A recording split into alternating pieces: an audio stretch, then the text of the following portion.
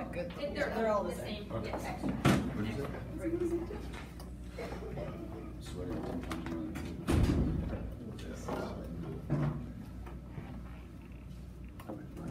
First off, on behalf of me and Forrester and Andrea, thank you for being here on this lovely day. Um, we're very excited. We've been working on this campaign for weeks, getting it ready for you guys, and we're um, excited to see or to show you what we have. So I'll let Andrea take it from there. Yeah, So a short story to start. So Laura Haller from BJC Healthcare, Senior Design Manager. How did, as a real person, you might, you realize that Laura Holler is the senior design manager? of Yes, yes, yes, okay. yes, It's just- No, that's her, her picture. Oh, that's- Yeah, we, we couldn't, we didn't want to use her Yes. picture. Yes, so Laura is right now in her office checking out a couple things from work. And she has just been given a project that she has to work on. And she thinks of Arch. And why does she think of Arch? Well, Laura was invited to speak at the Maryville panel that is titled The Art of Healing. We're going to explain what the panel is later. But after she uh, went to this panel and talked to students about how uh, evidence-based design helps people heal better, uh, she built very strong relationships with people from Arch, like you guys. And now she's very interested in working with you to make project happen. So we are going to tell you how through our campaign, we're going to make people like Laura always remember that Arch is there to help them with their projects. So our goal is to raise awareness among decision makers at key um, healthcare industry and senior living facilities to make sure that they know that Arch allows them to create a space for people to live, work, and heal in. So our objective is by December 31st, 2018, increase the number of sales qualified leads by 25 among decision makers for nationwide providers of healthcare and senior living through our combined efforts of online and in-person tactics. We are going to target key decision makers in the healthcare industry, and these key decision makers, like Laura, know the importance of art and what it brings to the health side of things, but may not know how to implement it or where to go to make it happen. Yes. So I have a question for you. So when we have been talking to Valerie and Sarah, they mentioned that their target audience sometimes is kind of uncertain when it comes to the people that we have to talk to. So who do you think usually would be um, the people that you connect the best with and start a conversation that lead to business? Uh, it would, I guess, the number one, you know, type of person would be an interior designer, um, or whoever's acting as an interior designer. That's usually gonna be the head of IT, or the CFO, or the CFO's wife, but, uh, whoever's in charge of interior design. Oftentimes, large facilities have an interior designer, and then oftentimes they outsource that to a design firm, and we work with the interior for the design firm. But Valerie's right, sometimes it's hard to, to determine the target audience because certain smaller hospitals, it's the facility manager, certain it's the hospitals, it's the medical equipment manager, certain senior living, it's the CFO, certain ones have a design department of seven interior designers, it just depends on the clients, they're all different. So we did think of this, and we want to explain how through LinkedIn we're very confident that it's going to be as a, it's going to serve as a tool to target these people, even if we don't know title. So through LinkedIn advertising, we think uh, it's going to be huge in return of investment, just because of how their algorithms work still compared to Facebook or Twitter. So LinkedIn has over 467 million users, and most people on LinkedIn at anywhere between 30 and 64. And it's the only uh, social media platform where people are tend to be older. So that's why we thought putting all of our money on LinkedIn is going to be way more beneficial than Facebook or any other one. So the campaign itself consists of three sponsored content posts and email messages. So the sponsored content posts are just posts that you put on your um, on your feed from your page, and then you promote them. And you can do this by cost per mil or uh, by cost per click. So through this campaign, uh, people are gonna get in their feed these posts that you they can tie back to your uh, company page, and through analytics, you can follow very closely what these posts are doing for you. You can see which are the people who are clicking on these posts. So as the campaign is going, you can adapt on whatever uh, is working on. You can also change uh, a couple things from the graphic as the campaign is ongoing. So it's a good tool just to keep um, making sure that our money is being used well because we can adapt as. So the three posts would be um, one would be a video that you guys have created. So we thought using that video and pushing it to LinkedIn uh, would be beneficial for us. The second one is going to be um, the podcast that we're going to create from the Art panel that we're going to talk about. And the third one is gonna be from your blog post of insights of design. So again, we think connecting to these um, designers through LinkedIn and showing uh, valuable content is gonna help out. So LinkedIn actually in their last uh, quarterly report reported that 50% of business-to-business buyers uh, go to LinkedIn when making decisions about purchasing. So through this LinkedIn plan that we have created for you, we're gonna create a strong professional brand with an authoritative voice for Arch. Uh, we're gonna connect and engage with prospective customers, and we're gonna build and maintain relationships with key decision makers that you guys have probably already connected to, because we have seen that your LinkedIn is very strong. Um, so the sponsored content is gonna be, again, those three posts, there's two thousand dollars that are gonna go into LinkedIn, we're gonna break down that later. The other part, oh, so this is a sample post, so this is how it would look if you guys push in, um, any of the information that we wanna be doing. So it looks basically like any post that you would see from your friends or your connections, but it's just promoted. So it does say promoted at the top, but it's, it, it's a good way of getting people to look at that. Um, now sponsored email. So have any of you ever had any conversation through email with people? Uh, I've sent people messages, I guess, Okay. email. Okay, yes. Okay. So how it works is basically like a professional messenger, and people actually uh, think it's very trustworthy compared to sometimes cold emailing someone. So what uh, email does for you is you craft a, a message, which you can actually see. I crafted a sample one of what it is on page 13. So you pay for a message that you pre-craft. Uh, the last name is in between those symbols because it, it tailored it to whomever the message is going to. And you have a, an action hyperlink, which actually you can see here. So these hyperlink gives you the opportunity to uh, send them to whatever you're talking about. So these uh, messages that we created is just an example of something that we thought might catch people. And it's just, it would be from Sarah Patino, so you can send it from any of the people that work at your company. Um, talking about this project that they have done, and then it kind of introduces into the company and how um, she thinks Arch can help out. And then it provides, um, you know, like bullet points, and you can customize your information so they look very professional. So it's cool that uh, LinkedIn only lets, uh, I think, one post per month on each person's um, LinkedIn. So it's not like spamming people. People, I mean, you probably get very few of these per month. I think Yeah. LinkedIn limits it to one to two per person. It just depends the type of account that you have. So again, it's just a strong way of connecting with people, and it's way more trustworthy than cold emailing in general. So you don't even have to be a, a contact of that? You do not, Okay. no. So that's, that, that's just very beneficial because it, it, it just lets you contact people. The only thing that you can't do is give them a name and then send it to that name. So they'll pick according to the target audience that you Mhm. select. So when it comes to our target audience, uh, for both the email and uh, the posts, we're gonna do seniority and industry rather than age and title. Why? Because again, it's kind of hard knowing who are the decision makers. So, and also LinkedIn report that seniority is one of the few things that people cannot lie about compared to their age or other things. So we just thought uh, through seniority is going to be easy to get to these people which are C-level rather than younger people. Mhm. And uh, industry, again, design, healthcare, you know, like being very specific. If they're working in that industry and they're in that position, there's a high possibility that they could be the decision maker that we're to talk to.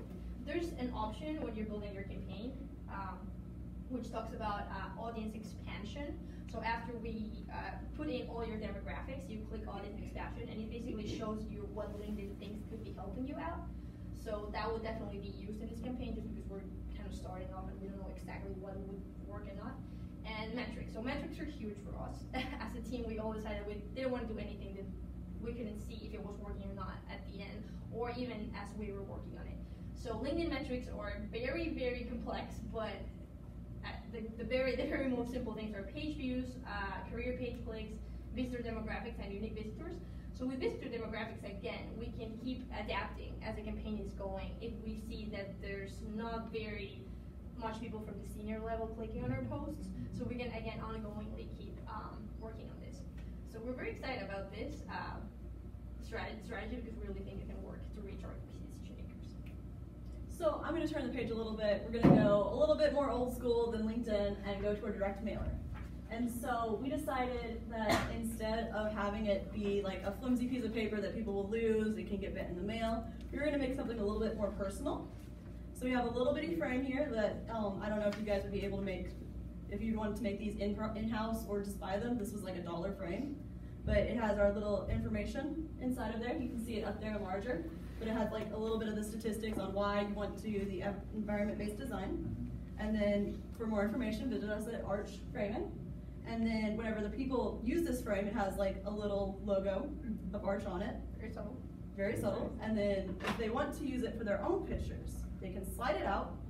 And inside is another little tag for um, Arch that says like share how you use your how you frame your life. So like what picture they would put in there, share it with the hashtag Art for You, and then tag Arch on one of the social media platforms, and then they could be entered in in a chance to win a free piece of art. Because I know you give free art to some of your um, new new biz, new business connections. Thank packages, yeah. Thank you packages.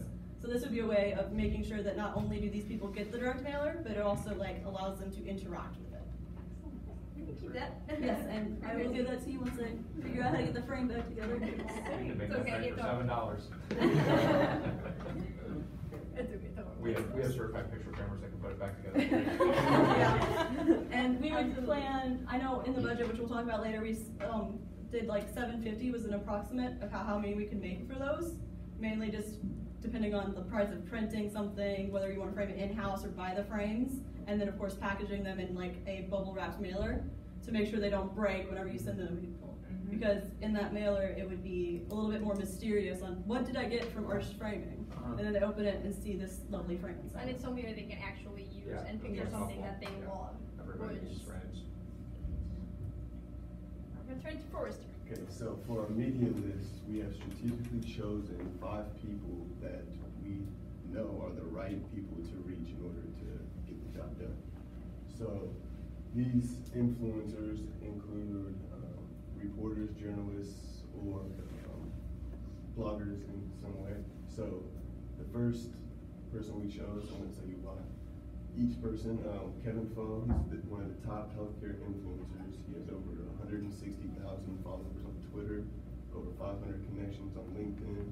He discusses everyday problems in healthcare and solutions, so right down our alleyway. Is he a local guy? Um, he's actually not local. Okay. He's Okay, I saw the rest of it said St. Louis. or yeah, something. he's the only yeah he's the one that's kind of National. Not, okay, yeah, all right. and we picked him because he's one of the best. One of the The top, guy. yeah, the guy. So Yes.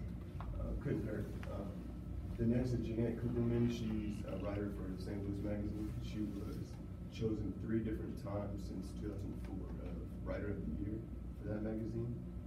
Um, and also, she discusses healthcare solutions and different stories in healthcare, stuff like that.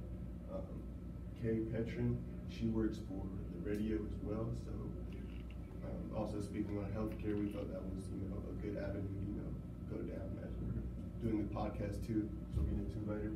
Um, Justine Faulkner, she um, wrote about the stories that are literally right down our alleyway. Um, one of the stories that I can remember was 11 ways to calm down, 11 simple ways to calm down, and I know color and art can definitely be one of those ways. So, also looking at her um, personal online um, blog and stuff, she's really into visuals.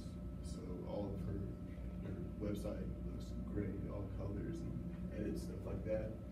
And last but not least, Angela Mueller, she works for the St. Louis Business Journal, so she would be um, a good person to represent arts through the business side of things and stuff like that. And all of these people really reach the same audience that we're interested on, and that's why we strategically selected them instead of doing any other blogger that talks to moms or someone different.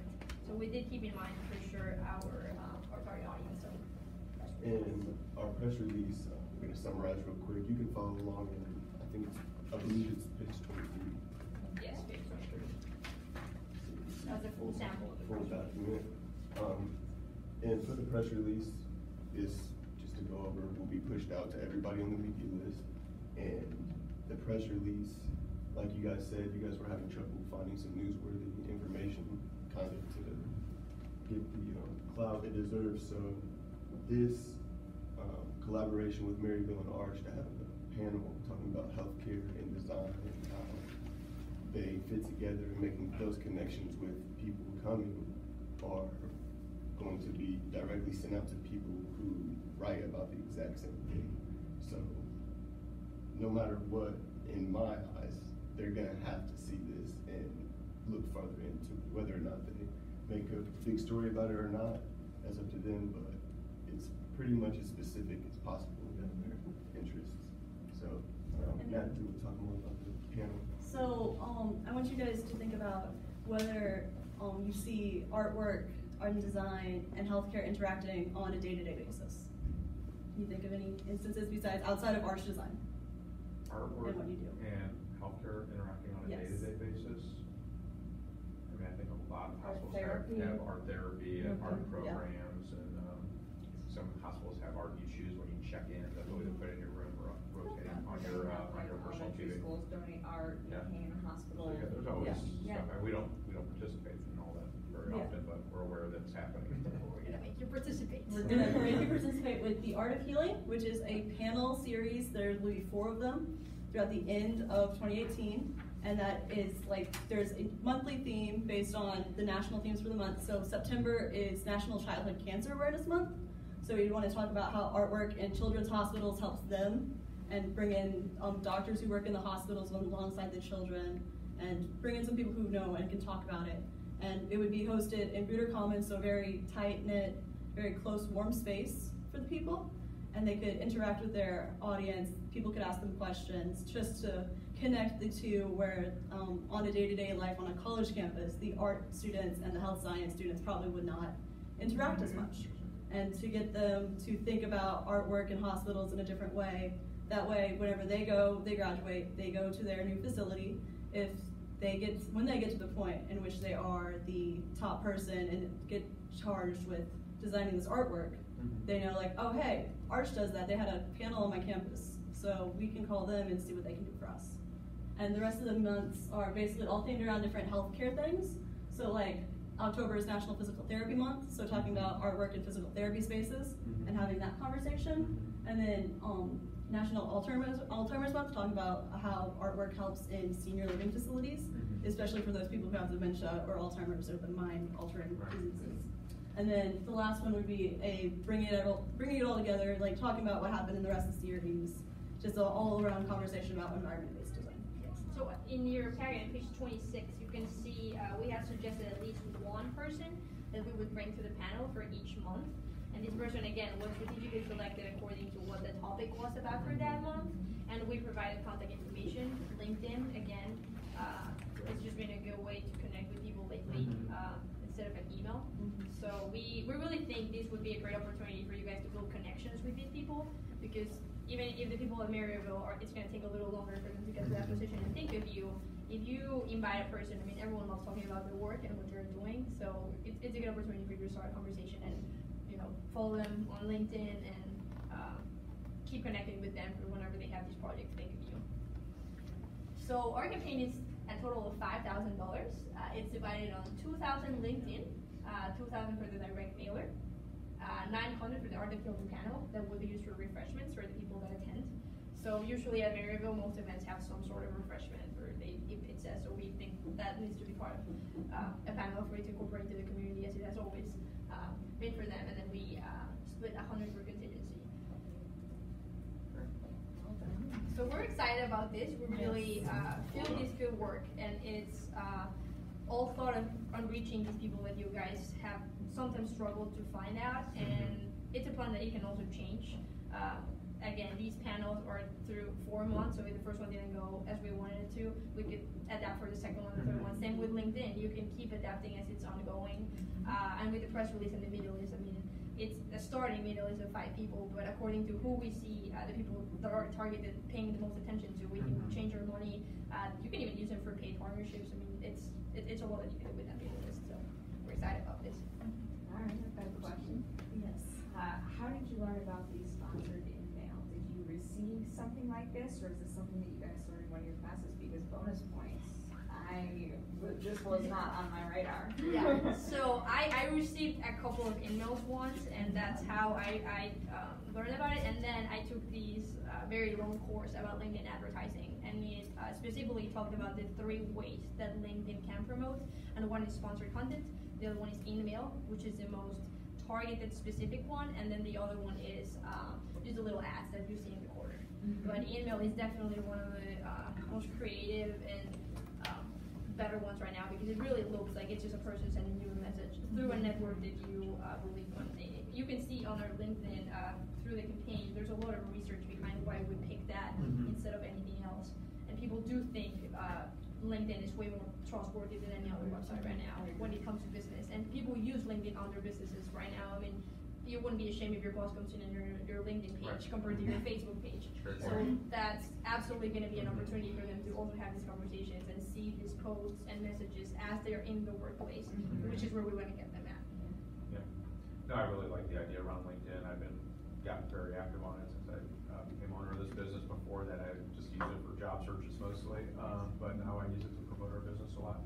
So for the two, the two thousand dollar budget level, what do you get for that? I mean, how many people do you reach or how many, uh, emails do you get for that? So you can set, so from those two thousand, I wanted to do a thousand for email and a thousand for sponsored content. Okay. So you set a bid. So it's, it's a little complicated, that's why I didn't put it in there, Yes, because sir. that could take like an hour to explain Okay. exactly how bid works. Oh, it's a bid. Because I went in Okay. there So and it's I a was bid. like, I don't know, it's saying this much for this many people to say Yes. it, or it's saying eleven fifty per click, Uh-huh. I can't see us Yes. paying I'm just wondering like how many people do you actually reach for a thousand Yes, bucks? Is it a hundred? Is it a thousand? So we 10? could pay ranges. either cost per click or cost per mil, which is how many Mhm. people per I see. thousand would it cost for it to happen. Mhm. So that's why, uh, we wanted to pick three posts, so we can play with the first one I and then see. adapt for the second one, and then the third one Okay. ideally be the strongest Okay. one, which would be the podcast. Uh, So, I, I think we mentioned that, but we, Oh, yeah, we think it would be a, a great idea if we're having already this conversation in the podcast happening, or in the panel happening, Mhm. uh, to record them, Mhm. and then making them into a podcast Yeah. Mhm. that is free content. I mean, if we're already putting all of these together, it's super easy to, you know, edit a little bit. And we, in, in our, um, calendar, that I think is. In the calendar, um, we have the podcast for each panel coming out a week after the panel happens. Right. That way there's time to edit things, make sure you get everything to where you want it before you push it out for people to see, Mhm. for people to listen to really. And there's evaluations for each one of these tactics, which are formative and not summative only. We're definitely gonna, uh, provide a final evaluation. You can read at the end how we're gonna evaluate every single tactic is very specific. Uh, but formative evaluation is a huge part, especially because none of these tactics have been proven yet to work. So we wanna make sure that there's opportunity for change and adaptation. Mhm. You guys have any other Yeah. questions? No, it's really well done. It's, uh, very targeted and very focused, so nicely done. Yeah, I hadn't thought of, uh, targeting by seniority. Yeah, that's an interesting concept. That does solve an issue that we've been You know, battling. The other, the other challenges we have around targeting is, you know, it's like, it's almost like this Goldilocks thing. If you go too high, like, I mean, we're very fortunate to know a lot of CEOs, but they do nothing for you. Like my partner knows the CEO of uh, Centene, has been trying to get our trimming in there for years, no success, and then literally a cold call to an interior designer. Now it's one of our largest local accounts, although we're not supposed to notify that, so. we're- Okay, we will not. We're very- we're very secretive. Yeah. Not We're that very we don't secretive. their name on it. We just can't, we just can't promote their name, uh, so like, you know, when we take pictures of their, of their offices, we're not allowed to say it's a Centene office. Uh, Corporate office building. Yeah, so, uh, but anyway, so if you go too high, you know, you're, you're barking too high, and if you go too low, you're not hitting the right people, and they're not gonna help you. But get up. sometimes if you hit that happy medium, Yeah. even if you're not hitting that decision maker, you're Right. hitting the person in the next office. Right. You know, and you, and you overhear conversations. Mm-hmm. Right. And then what I've also been discovering as of late is, I mean, so many people are happy with their current vendors. It's, you know, you reach somebody finally after all this effort, and like, we've already got two art vendors, we're not looking for a third, we love our two art vendors. The only way to get, not the only way, one of the best ways to get in is finding people in job transitions, people that are, you know, coming new to, uh, you know, Laura Hollow was to be replaced, you know, then, I mean, she's a client of ours, I have a meeting with her next Friday, but, um, you know, if somebody were, you know, to come to, a, like Mercy Hospital that we don't do, you know, that says, okay, I wanna get rid of all the existing vendors, I wanna make my own mark on this place I'm gonna bring in, so we just like, we were just at a Environments for Aging conference down in, uh, in Georgia last week, and we picked up two brand new clients, and what they basically, they sought us out. They basically said, we've been uh, watching, monitoring you on, online, and we like what we see, and then we saw you were coming to this conference on, by the exhibitor list, and so, uh, we are now doing, um, work for Discovery Senior Living and uh, Covenant Senior Living, which are both like fifty plus community, you know, communities with fifty plus, or senior living offers with fifty plus communities, which is rather large. And so, yeah, I mean, we've already got like five projects, just, you know, and it all came through social media and targeting, I assume. Twitter, if you can. Is that what she said she Yeah, saw on Twitter? Discovery, well, Discovery followed us on Twitter in January, and that's when I reached out to the Okay. sales team, and I was like, hey, Mhm. we just got hooked. Mhm. You know? Yeah, so it's, wor- so, you know, and, and in both cases, the, uh, interior designer was brand new, they had just arrived, they didn't like the, you know, vendors they had, so they wanted to find new ones, and they didn't know who to call, so I guess they just did some searches, and sure enough, this stuff actually worked shockingly. Absolutely, yeah. Yeah, Well, nothing, so much.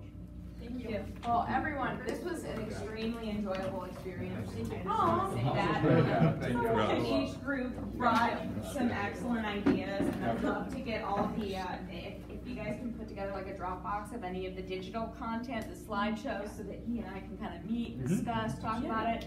And I'm sure we might end up using some of your stuff, and if Yeah, we I we do, we're connected on LinkedIn, I'll let you know. Oh, And, yeah. Well, thank Yeah. you.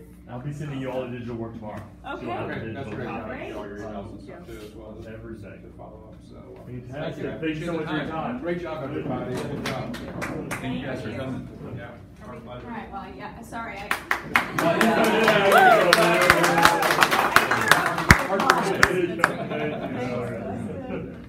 Oh, this was great. That was fun. You guys ready to graduate? Yeah, yeah, yeah.